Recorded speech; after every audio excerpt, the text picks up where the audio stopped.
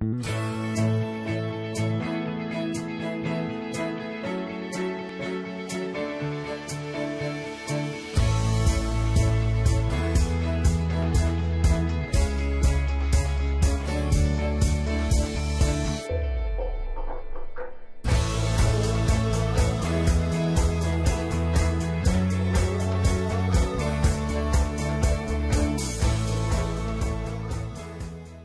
I'm Ted Keyes, your host and top freight agent training expert here in Southern California. This topic comes from my 30 plus years of business, sales, and freight moving success. Watch, learn, and apply it. You'll move more freight efficiently, effectively, effortlessly, and make more money financially. And call me at 626 309 9141 with any questions. Now explode your business with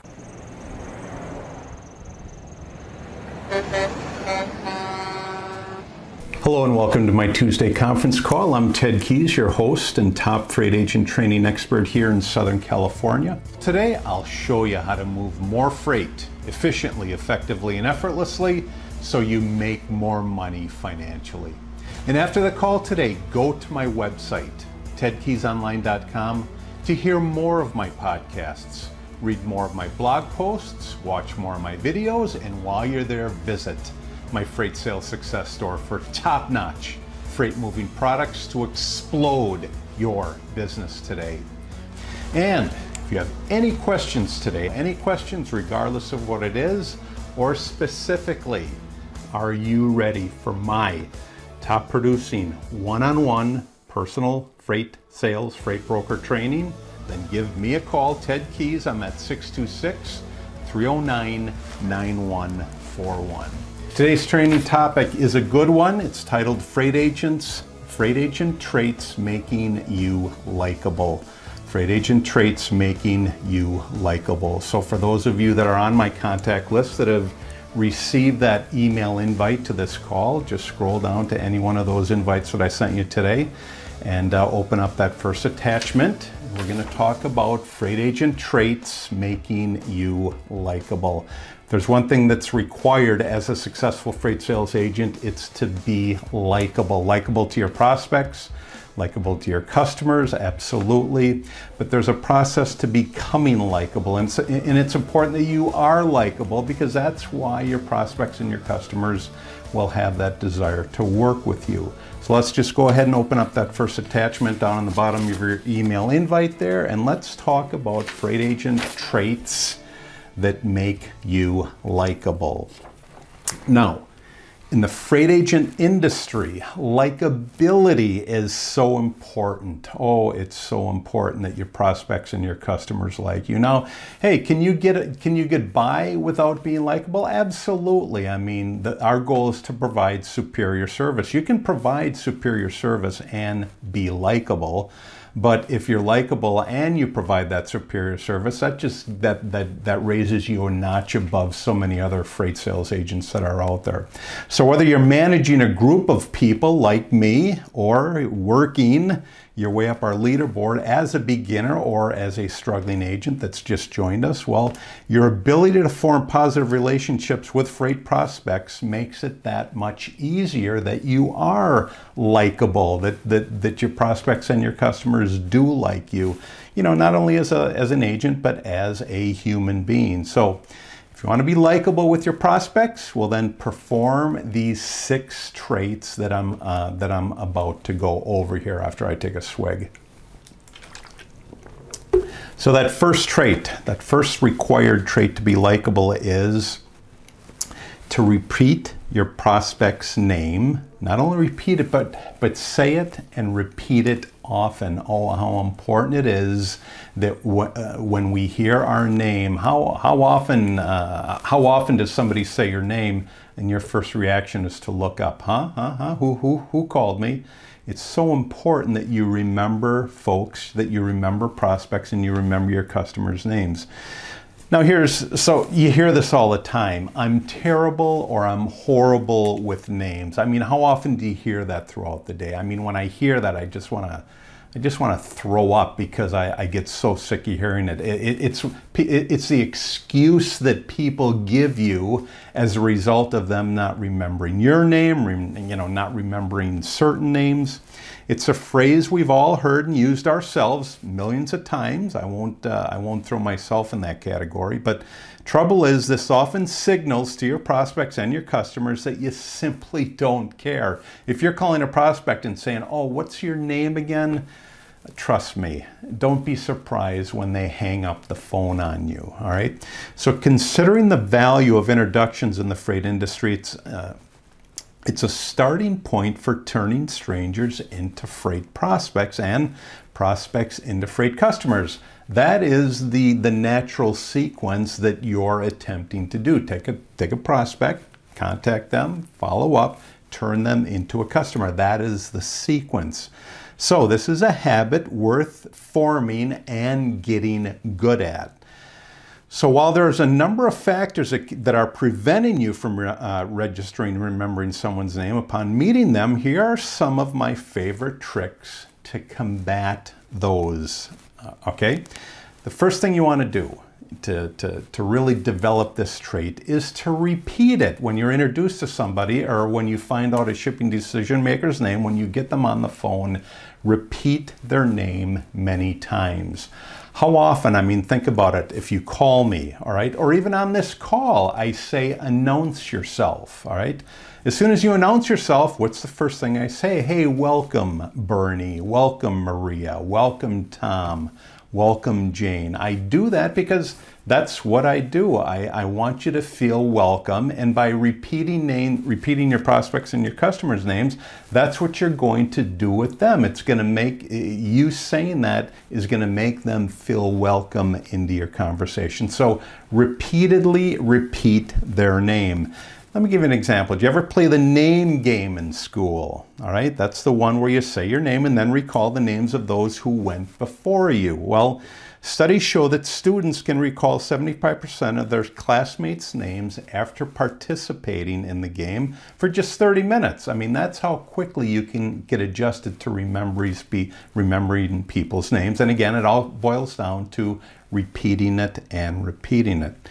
Here's the point. Repeat their name immediately after the person tells you, and as you keep repeating it, it's going to stick in your mind after the initial call and repeating it more and more. So the first thing you have to do is repeat it and repeat it often.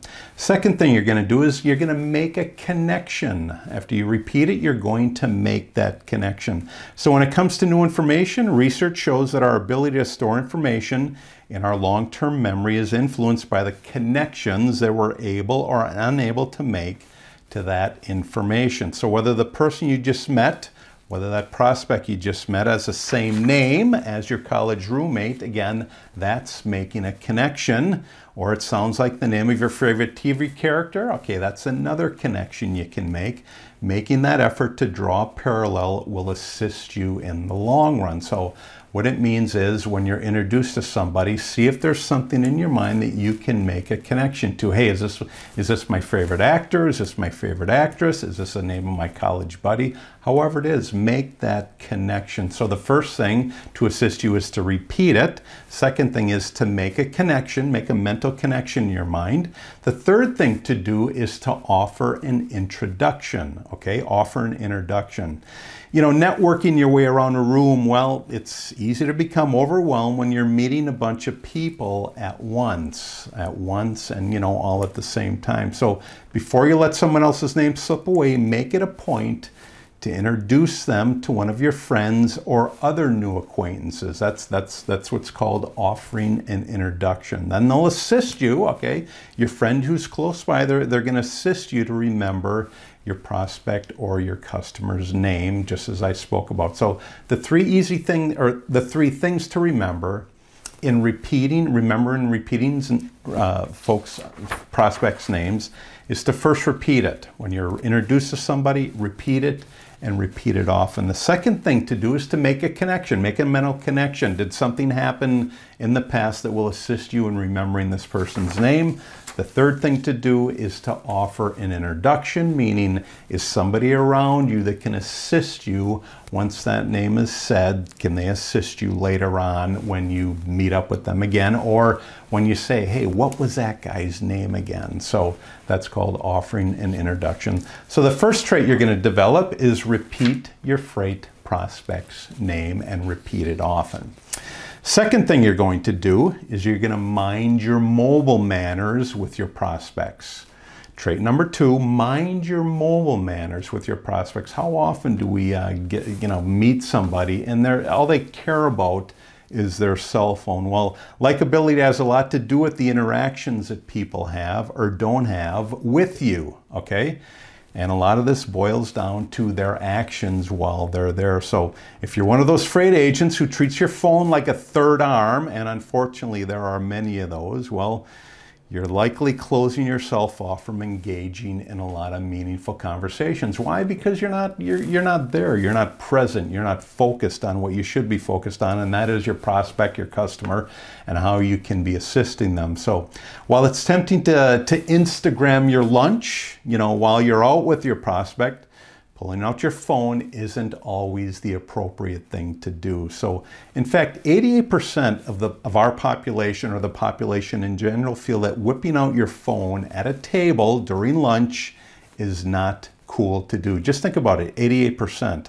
But how much of us as a population do it? I mean, it, it's somewhat hypocritical because we don't want people to do it to us, yet we continually do it to them. I mean, 88% think it's uncool, but most of us do this, you know, and a lot of times in an important meeting. So, to strengthen more relationships in your business, be more present. Be more present in the conversation with your prospect and your customer, whether it's in person or on the phone. So the th- second thing, second thing you're going to do is you're going to mind your mobile manners with your prospects. The second trait that will assist you in becoming more likable.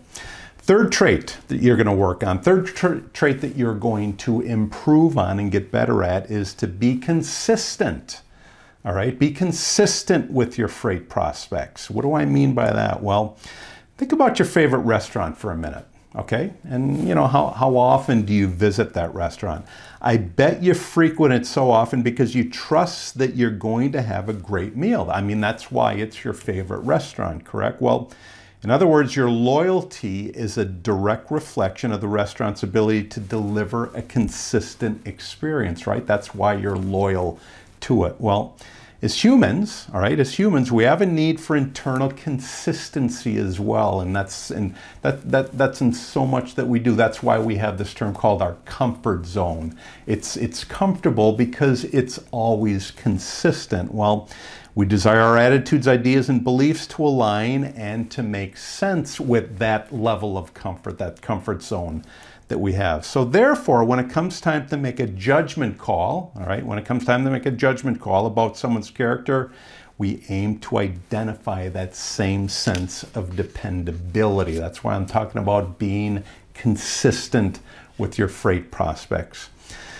Consistency provides a sense of comfort, all right? I mean, if there's one goal that you desire to be, it's to be in your prospect's comfort zone, all right? When we see someone deliver great work or a positive attitude day after day, which is what your goal is, well, it becomes easier for us to trust them. All right? This is something that both freight prospects and customers search for when determining who they desire to do business with. So, back to this to be consistent with your freight, freight prospects. Don't be dilly dally. Don't be, you know, don't be bipolar uh, you know, don't be this one day and that the next day. Don't extend the spectrum. Be consistent down the middle. That's how the, that's how we are. That's how we get into their sphere of business by becoming consistent. And that also uh, that also comes down to your follow up. Consistent follow up. What do I say about follow up? Minimum one touch a week. All right. And a phone call will always trump or beat an email. Okay, that's what I that's what I mean by consistency. So when you show your prospects and your customers that you are consistent, they're going to use you more often, all right? Because you're in their level of comfort. I mean, hey, when you're in somebody's comfort zone, that is a good thing. Trait number four is ask more questions about your freight prospects. Let me say that again ask more questions about your freight prospects. Let me ask you this Ever been trapped in a one sided conversation?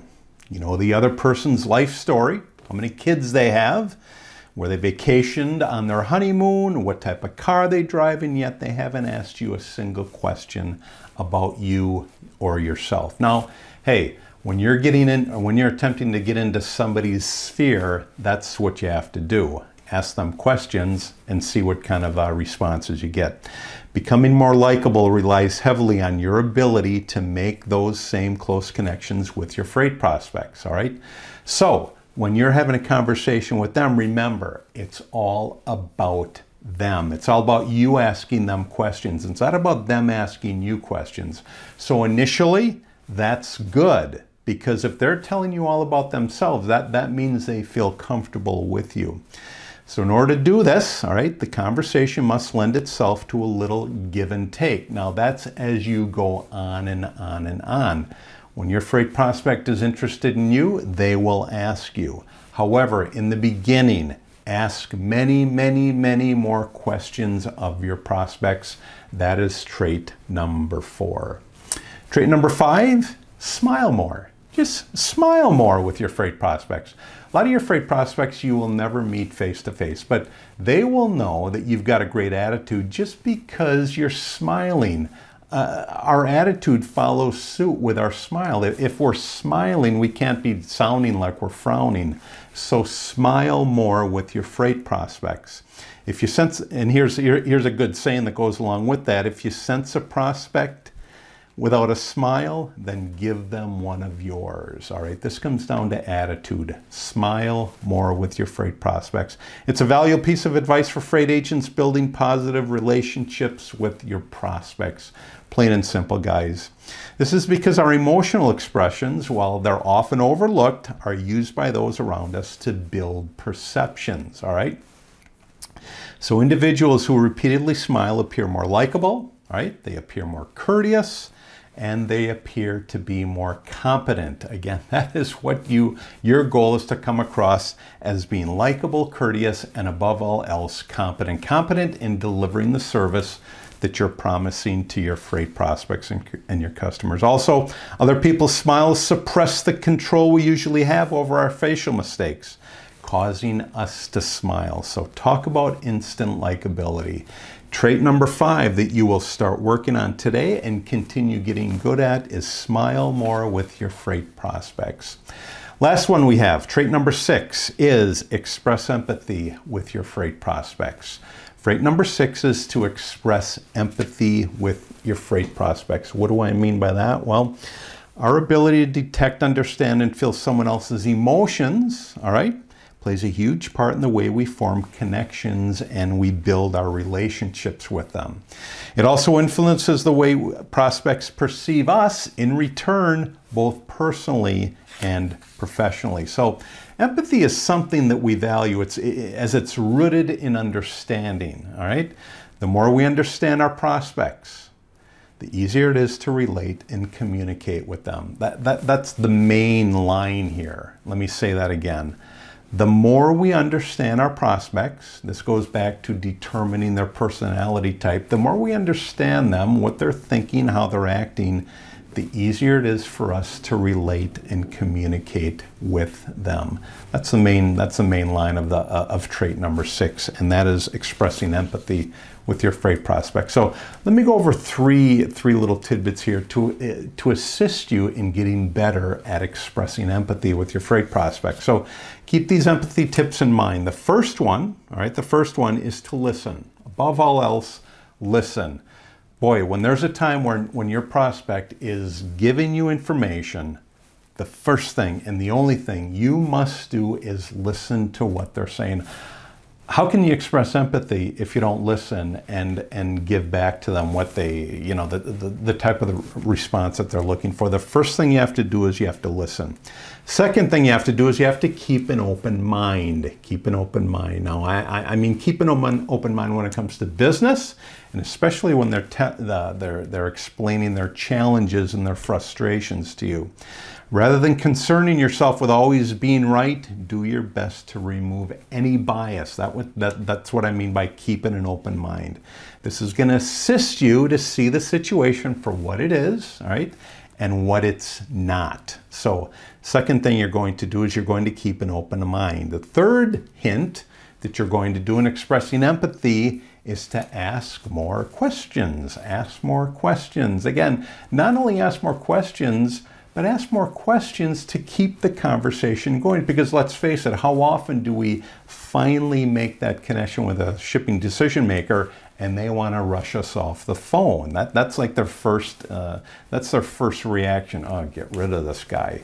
But when you can keep them on the phone longer and ask more questions, hey, and show interest, that will keep your conversation going longer. If you don't fully understand where your prospect is coming from, then ask them to clarify where it is that they are coming from. Because sometimes empathy can be achieved through asking questions that reveal more content and context. So, six traits, six traits to assist you in becoming more likable with your freight prospects and your freight customers. The first trait is to repeat your, your, not only recall, but to repeat your freight prospects and your customer's name. Trait number two, and that is to mind your mobile manners. Mind your mobile manners, whether you're with them or you're or you've never even met them. Hey, let's face it, we can tell when somebody's on the phone or they're distracted with their phone. Third trait you're going to work on is be consistent. Be consistent with your freight prospects. Fourth trait is to ask many, many, many, many, many questions to your prospects. Again, make it about them, not about you. Not like, hey, how do you think I, you know, how do you think I'm doing today? What do you think I'm wearing? No, it's not about you, it's about them.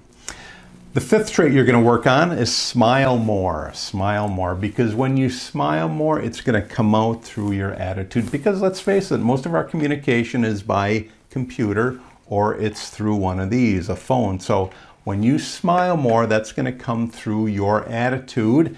And hey, let's face it, nobody wants to deal with a sour puss. All right, even a sour puss doesn't even want doesn't want to deal with a sour puss. So smile more. The sixth trait you're going to work on is express empathy with your freight prospects. Express empathy with your freight prospects. So those are the six traits that you will start working on today. All right to become more likable with your freight prospects. Great topic for today, and that is freight agents, freight agent traits that make you likable. Freight agent traits that make you likable. In concluding today, I'm going to ask that question again. In concluding today, do you have any questions about what I went over? Or, more importantly, are you ready to join our top producing freight sales team? I'll say this again I'm not a spokesperson, I'm an actual freight agent that trains others to become successful as well. I don't just sit here, sell products, I'm in the game with you.